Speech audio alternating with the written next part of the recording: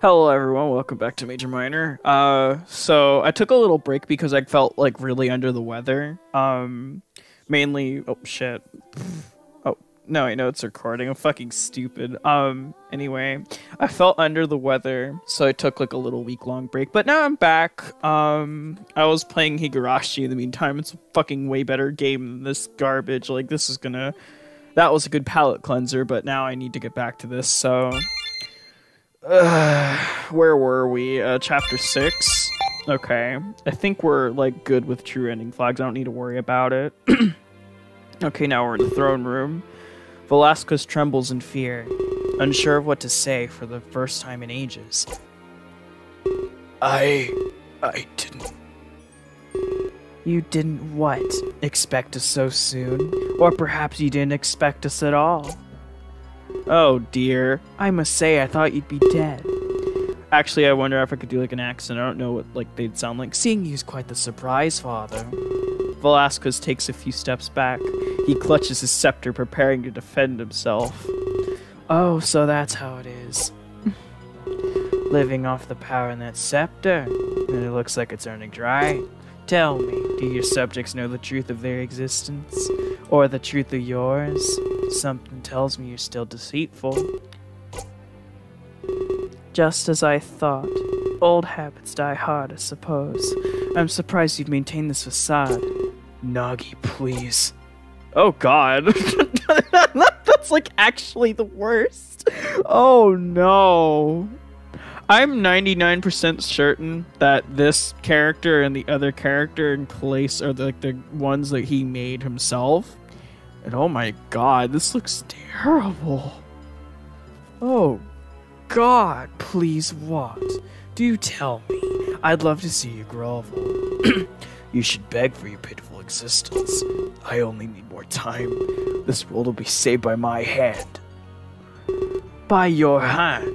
Don't be ridiculous. Everything you touch makes a plagued end. And soon, ta- huh? Takamagahara will fall. Or whenever it is you call this place now. You can't change the truth of your world. You have a kingdom that houses the dead. Father, you rule over a rotting carcass. Your subjects are nothing but maggots. They ride through its cavities for succor. So tell me, how can you save something long since dead? Something built on the carrion of her woe. This is so terrible. Oh my god, it really did get worse. It's possible. I beg for your lenience. Don't make me laugh. You've become a pitiful man, Velasquez. You're not fit to be in a position of rule. Your world is in my hands now. I will teach your people one simple fact. Salvation can be found through destruction. Nagi pushes Velasquez away, laughing loudly. Ha ha! Fucking Tidus laugh. His laughter echoes through the halls of the castle. Nami, sister, we must go.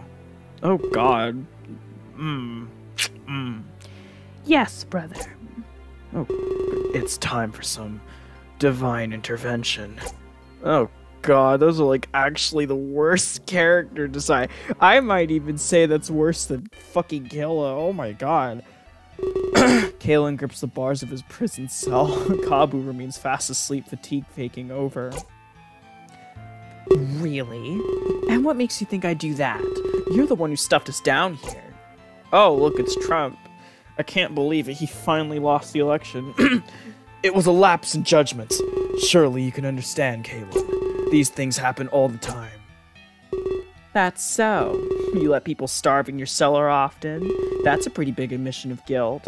Uh, no, that's not what I meant. I meant that people often make mistakes. You should learn to word things better. You think you know being a politician. Or is Riley not here to pull your strings? Kalen, there's no need to mock me. I'm willing to pay for your services. Excuse me. I need protection. This has gone too far.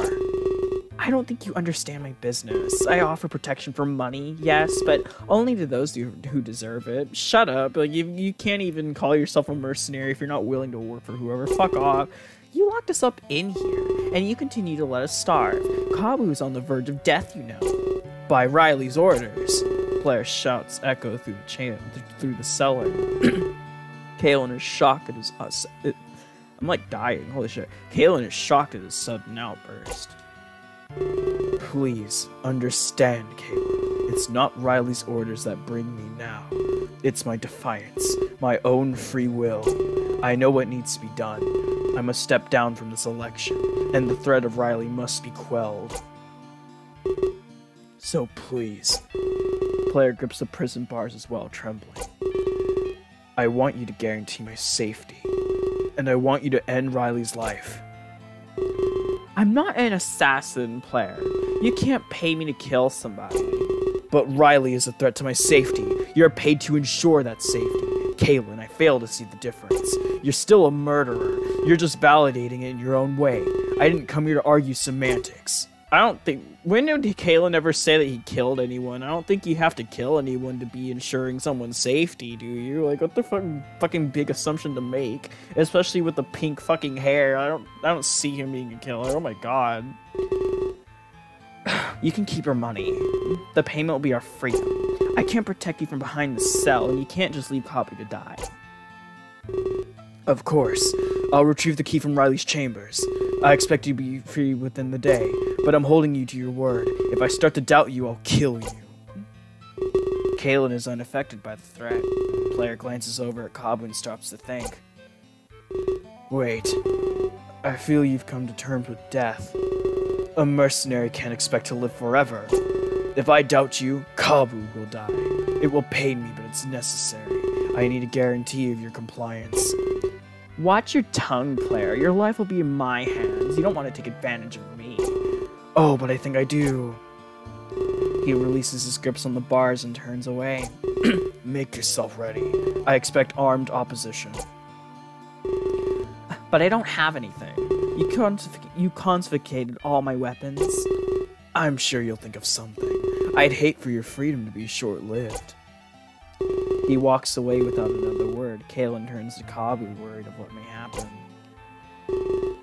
Don't worry, Kabu. I won't let him touch you, no matter what happens here. Would you like to see the game? Yeah, sure. I guess we'll do like another small round. Where are we? Seven? Okay, cool. We're like almost done with this game.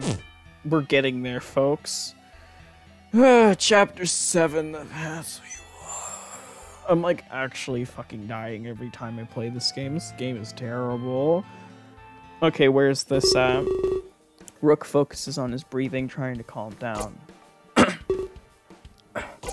he grabs the bomb and places it beside. What? Really? What if you like accidentally set off the bomb? That'd be funny as hell. The green light signals its continued safety. Why did he choose me? His mind is still assaulted by the prior events. He grips the sides of his chair, trembling. I don't understand. Everything Max said was right. The choice should have been obvious. He, his shout echoes softly through the conference room. He jerks in fright as he hears the reverberation. For a moment, he thought it was someone else. now you're scared of nothing. Good job. He laughs softly in relief. After a few moments pass, he attempts to stand up, but his knees buckle and he falls back into the chair. Damn it, Rook, you're a mess. He starts to type away on his tablet, but suddenly Max's words strike fear into his heart. No, that would only prove her right. Putting his tablet away, he attempts to stand once more. This time he uses strength to overcome the buckling. His knees are weak, like mom's spaghetti. His his knees are weak, mom's spaghetti. Got it. Just uh, no running any marathons. I should see who's up and about. He takes his time with slow, heavy steps. Eventually, he arrives at the conference room doors. He notices they're broken in and heavily damaged. They sure went through a lot to save me. I guess I can't let that go to waste. They sure went through a lot busting down a door. He takes a deep breath before leaving the room. When he gets outside, he slowly scans the vicinity. There's no one in sight. Perhaps people are still too scared. Well, I can't really blame them. His eyes find their way to Singe's office. The door is firmly shut. I hope he's okay. I should probably go see what he's up to. We're going to have to take drastic action. He approaches the office doors, but before he can open them, someone calls his name. Rook? He quickly turns around. It's Jade, the psycho bitch. He can see the aftermath of tears in her eyes. He can see the aftermath of tears in her eyes. That sentence in her sprite just doesn't. Hey. She takes slow steps towards him, like she's trying not to make any sudden movements. Perhaps she thinks he's still in shock. I. I didn't know what to think. I was scared I might not see you again. I was scared of that too. Honestly, I didn't expect to be chosen. I really thought I was going to die. I embraced it, but it never came. I expected my life to just flash before me, but I guess that myth isn't really true. He gives Jade a soft smile, as much as he can muster given the circumstances. You only see the most important moments, and the people that made them special. Rook. She locks him in a tight embrace, crying softly. Don't ever do this again. You hear me? There's so many people that care about you. I guess you're right. I had a hard time seeing it until now. My nose was always buried elsewhere. But not anymore. It's time for me to repay Minato. It's my turn to save lives. He returns the embrace, holding her closely. And the first thing I'm going to do, I'm going to have a long talk with Singe. We're getting out of this convention center.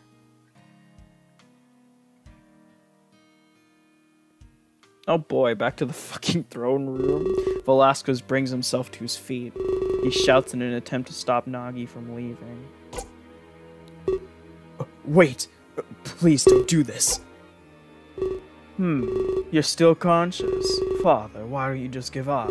You can't justify the salvation of Terra. But Terra houses billions, Nagi. You can't just condemn them to death. Father, they're already dead. You need to let go of these people. You're clinging to spirits. Unless you plan to use their energy. Is that why you've been housing so many? I've heard about your rule, Father. You lie to the world playing an immortal. I could kill you right now if I wanted to. Then why haven't you? I want you to watch the world crumble. I want to see your hope wither away. It's your turn to be used as a pawn. This isn't the time for vengeance, Nagi. Please, just listen to me. I know you have reason within you. Reason? I can't say that I do, but I will hear what you have to say. I'm curious how you've justified this. You know how many worlds are out there, each living living each living a solitary existence. What if we could all be united? You mean the Exodus Project? I've heard of your failure, Father. Why would you this time be any different? Failure? I'm not so sure about that. Nobody knew my true intent. I assure you the project succeeded. Nani. Yes, and now it's time for me to reap. I've waited so long for this day, Nagi. The galaxy can finally unite as one entity. So, you really want to open connections? Unleash your specters across the galaxy? Father, that'd be devastating. I'm more inclined to slide with Lord Blair. No one should come in contact with Terra. You created a truly disgusting world. But at the same time, you have power. Is that what you've been doing, Father? Collecting souls from Earth for harvest? That's twisted even for you. I can feel the energy growing within Terra. Means to an end, Nagi. Our thinking isn't so different after all. If they're already dead, what do we lose? Their final act would be our salvation. A grand way to go, I'd say. I'm not sure how I feel about that. I'd use this power for other means. Nagi laughs, once again echoing through the halls. Thanks for telling me, Father. Didn't think you'd be such an easy target. So it's a race then. To see who can unleash this power first. I'd have to say I'm glad it's come to this. Yes, I suppose you're right, but I know exactly who will win, and I've placed all my hope on it. Oh, joy. This fucking game. Yeah, sure, I'd like to... I'd like to save. I fucking hate myself. It's so tiresome. This is like, what time? how long have I been here for? 14 minutes. Yeah, that's the end of this one. Um, I'll be back another day though, so ta ta. It's been fun.